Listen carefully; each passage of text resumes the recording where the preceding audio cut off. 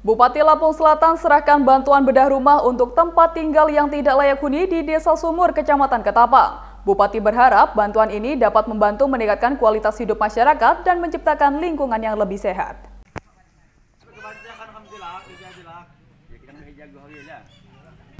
Bupati Lampung Selatan Nanang Ermanto menyerahkan bantuan bedah rumah tidak layak huni di Dusun Sumur Induk, Desa Sumur, Kecamatan Ketapang pada Minggu 22 September 2024.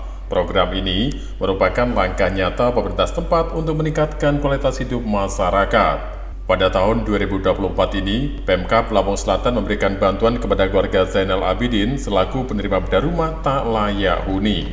Bantuan sebesar 20 juta rupiah yang disalurkan bersumber dari gerakan sehari seribu atau geserbu. Menurut Nanang Ermanto, Bupati Lampung Selatan, untuk mendapatkan bantuan ini ada tiga kriteria yang harus dipenuhi, di antaranya, berasal dari keluarga kurang mampu, kemudian status tanah dan rumah adalah milik penghuni.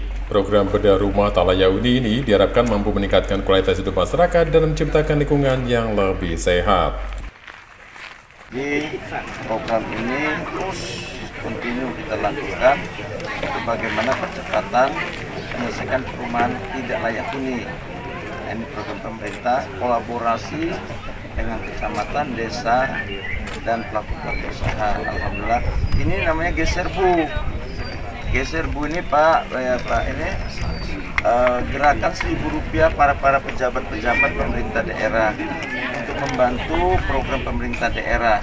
Zainal Abidin selaku penerima bantuan merasa terharu sekaligus senang dengan adanya program bedah rumah ini. Ia pun berterima kasih kepada pemerintah daerah karena dengan bantuan ini harapannya bisa tinggal di rumah layak huni bisa terwujud.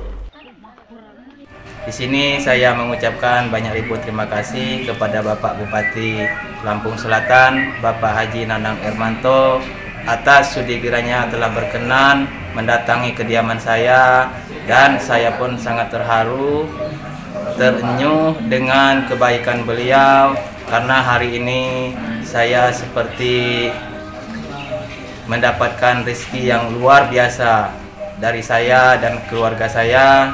Saya banyak mengucapkan ribu terima kasih. Semoga apa pun bentuk yang diberikan kepada saya oleh Bapak Bupati, semoga berkah barokah dan saya selaku penerima bedah rumah mendapatkan tempat yang layak yang layak huni karena selama ini kami bersama keluarga memang menempati tempat yang kurang layak untuk Dari Lampung Selatan, Cupri Nasional TV melaporkan.